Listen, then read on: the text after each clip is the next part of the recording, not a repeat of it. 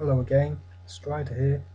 Um, this is another poem from my book Inside Out.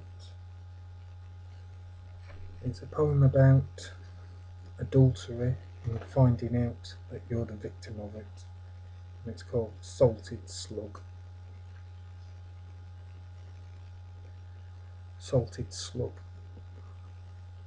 Your words stung and hung me upside down inside out, to watch you, swan turn shrew, hair brush out all memory and meaning from those fresco pictures on the wet plaster ceiling that my Michelangelo took years to paint in glorious colours now flaked and full of hate.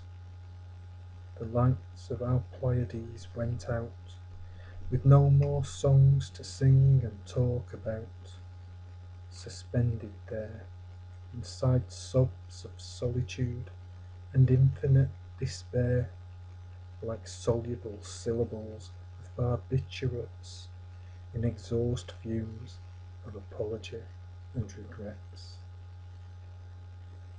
You left me prone to hear death's symphony alone split and splattered, opened on the floor, repenting for nothing evermore.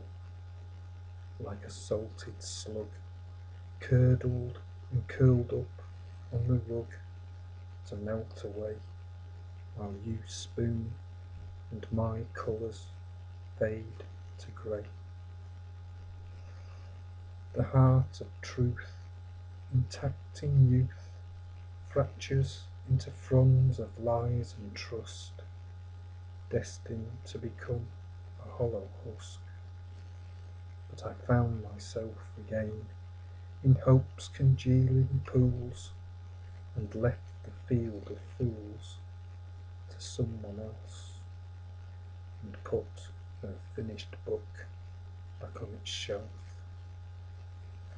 Thank you for reading. Feel free to comment